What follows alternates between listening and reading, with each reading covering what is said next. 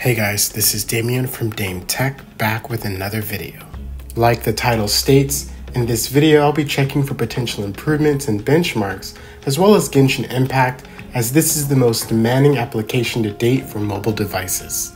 As you can see, I have both the iPhone 12 Pro Max and the iPad Pro 2021 version.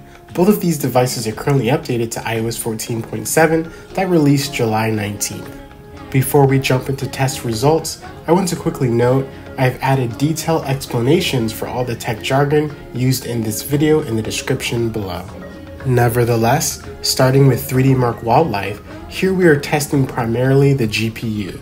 For the iPhone 12 Pro Max, I'm not seeing much of a difference in results that would qualify as performance improvement. GPU results are relatively the same compared to iOS 14.6.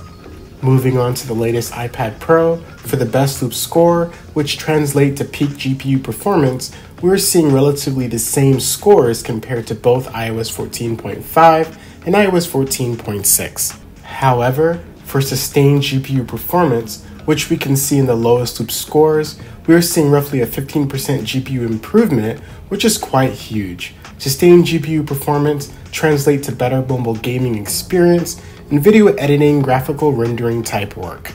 Moving on to Geekbench 5 for the CPU, again for the iPhone 12 Pro Max, I'm not seeing a big enough difference in results to account as a performance improvement in both single core and multi core scores for iOS 14.7. As for the iPad Pro, like the iPhone, I'm seeing no performance improvements, sadly, in iOS 14.7. Performance results are basically the same as iOS 14.6 and iOS 14.5. Now, for the last test, I tested both of these devices in Genshin Impact with the latest 2.0 update. Starting with the iPhone 12 Pro Max, results are somewhat the same as iOS 14.6 after 13 minutes of testing. However, I must note I did notice the GPU working more compared to when I tested on iOS 14.6. On the other hand, for power consumption, it's relatively the same. Now moving on to the iPad Pro, FPS results are practically the same compared to iOS 14.6.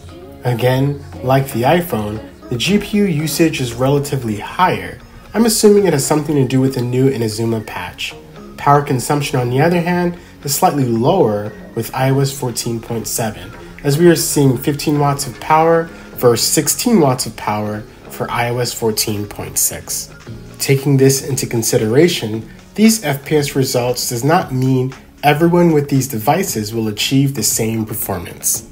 Like I said in my previous iPad Pro Genshin Impact test, ambient temperature, Wi Fi connection, applications installed on the device, and so forth are all contributing factors on your device's performance as it pertains to Genshin Impact. However, as for the iPad Pro, I do not advise playing max resolution for long durations as 1600p resolution is pure overkill and as you can see, this pushes the M1 SoC to the max. Definitely expect throttling after a while when playing max resolution. I prefer playing on medium resolution as this is around 1400p resolution, which is still amazing and allows the device to run at a steady 60 fps no matter how long you play. In conclusion, overall performance seems to be about the same for those looking to upgrade from iOS 14.6 to iOS 14.7. Despite the overall same performance, at least the recent claims of Apple slowing down devices with their recent iOS updates aren't true for the latest iPhone and iPad devices. With that being said, thank you all for watching, and if you made it this far, you might as well hit that subscribe notification button to see more content like this. Please stay safe and see you next time.